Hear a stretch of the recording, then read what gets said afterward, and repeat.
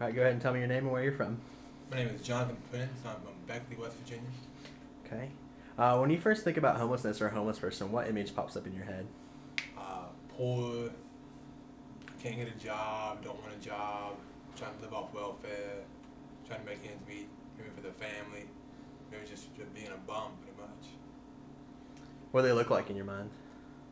Uh, unshaven, bad teeth, messed up hair, old clothes, buggy, pushing around all around the city. What are you gonna do to try to look homeless?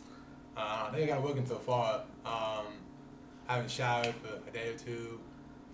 Haven't shaved since like a week and a half. So just old clothes, old uh, jackets, a blanket, and a toboggan. Have you had any experience with uh, homeless people before? Um, never. This will be the first time. Um, why are you participating in the challenge? Uh, for the experience, for the the value, the virtues that you get from it. I don't think you can get it any other way. You can go out and raise money for the homelessness, but that if you do that, you're only you're only getting how to help them instead of you're getting first-hand experience if you do this. Um, what are you expecting to get from it? What are you expecting to learn from it? I'm expecting to learn uh, a different side of what they need, how we can help them now and in the future, and if we if I do have in the future experience someone with homelessness, someone in my family, I can know, I can relate to them, I can empathize with them, and seek help for them. What are you most nervous about?